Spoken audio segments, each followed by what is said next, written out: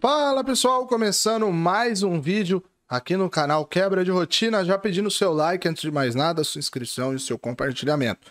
Pessoal, lembrando que hoje eu vou iniciar um projeto novo, tá? De um podcast e com participação do Vidente Ciganiago, tá? Você quiser assistir, eu vou deixar o link desse novo projeto, desse podcast, em todos os vídeos aqui do canal, para você se inscrever lá, tá? Porque é um canal paralelo. Eu vou deixar o link na descrição e na aba comunidade aqui do canal tem o link pro bate-papo de hoje com o Ciganiago falando da guerra, tá? Bom, vou trazer para vocês, vamos relembrar, na verdade, né?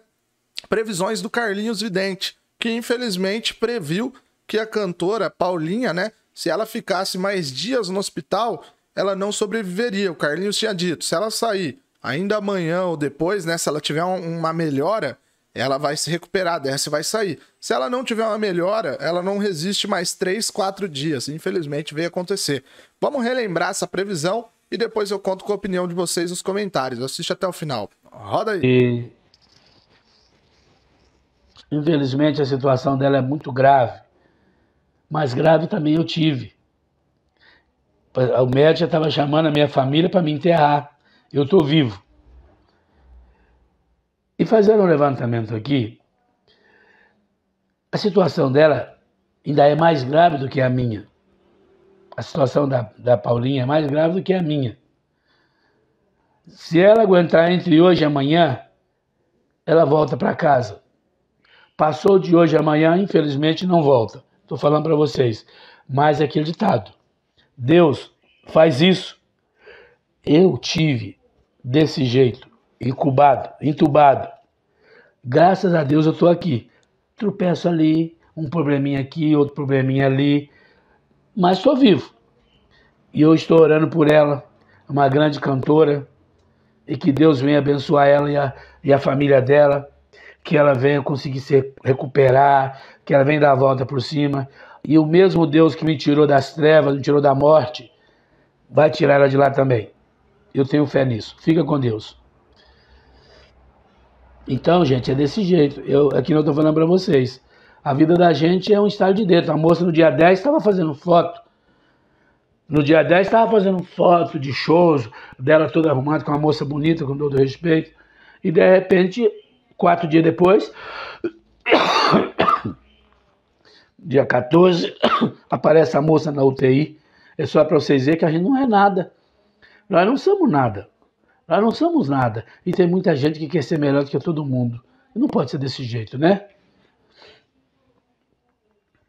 A todos vocês que estão orando por mim, muito obrigado. Que Deus abençoe vocês. Tá?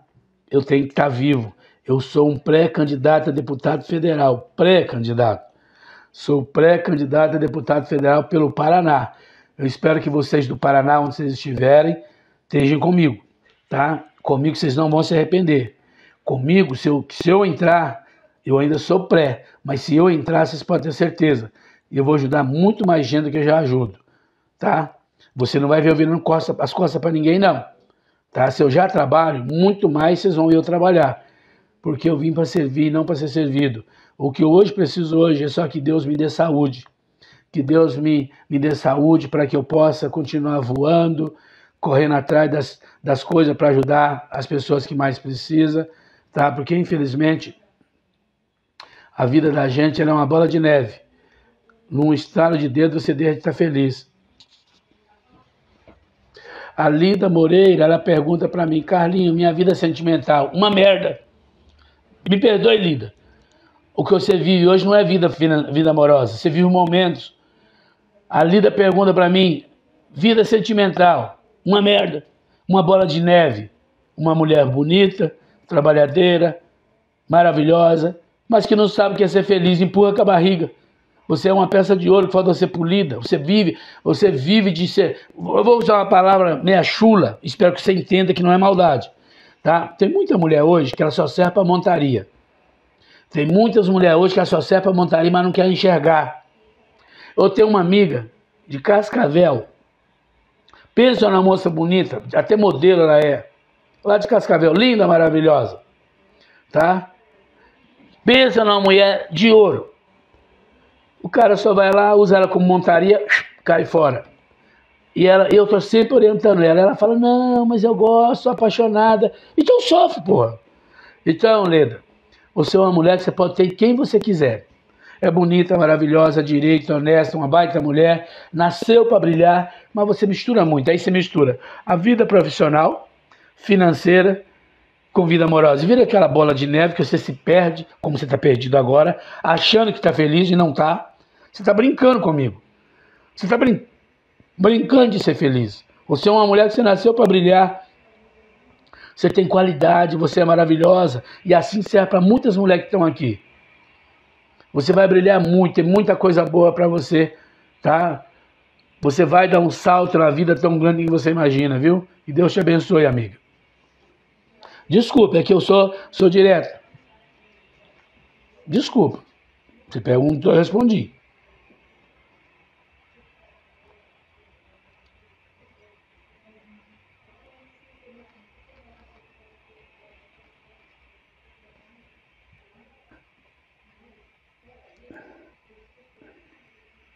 As pessoas querem que a gente fale alguma coisa para eles, eles devem achar que eu sou Deus. Eu não sou não, gente. Aí você tem que colocar a sua idade e faz a pergunta que eu respondo.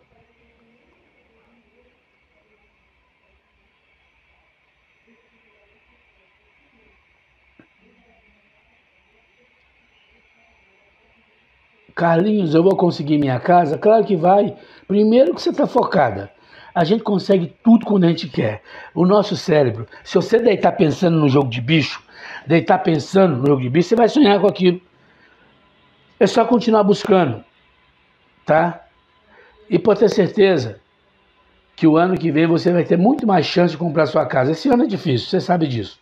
Esse ano é difícil porque nós estamos lutando contra, contra a maré, nós estamos contra, contra o mar. Vocês entenderam o que eu quis dizer? Nós estamos lutando contra o mar. Tá? Mas o ano que vem vai ser mais fácil você comprar sua casa.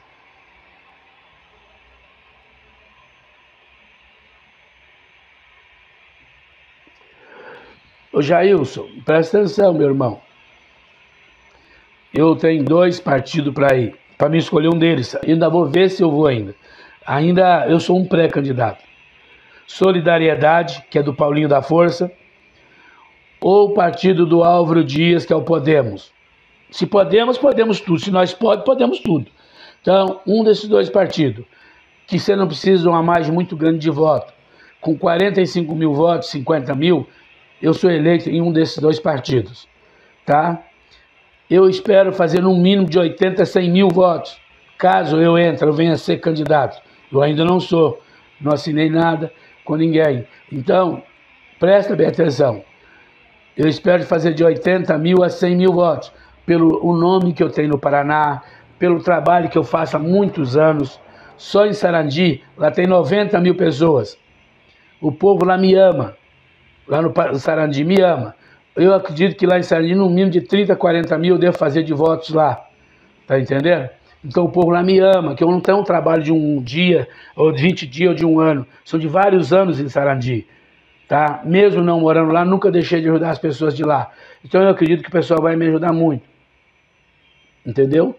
A Naldina, a Naldina Mussi, preciso de um, de um novo trabalho. Vou conseguir? Cara que vai. Pode acreditar. Corre, atrás, que você vai conseguir. Tem uma pessoa aqui que ele falou assim, Carlinhos, eu estou com a casa à venda há muito tempo e eu não consegui vender. Você vai conseguir vender e vai dar Bom, amigos, opina aí nos comentários, deixe seu like, link do podcast na descrição, se inscreve lá que é um novo projeto e até mais.